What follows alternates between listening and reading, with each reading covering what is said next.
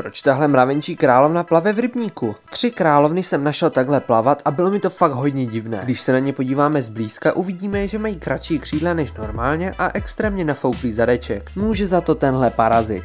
Královny do večera umřely, ale vetřelec se začal klubat ven. Jedná se o hlístici, ta změnila tvar královny i její chování. Nemůže létat a strunice ji ovládá, aby šla na vhodné místo, v tomto případě rybník. Mezi takové parazity člověka patří například škrkavka, roub nebo svalovec.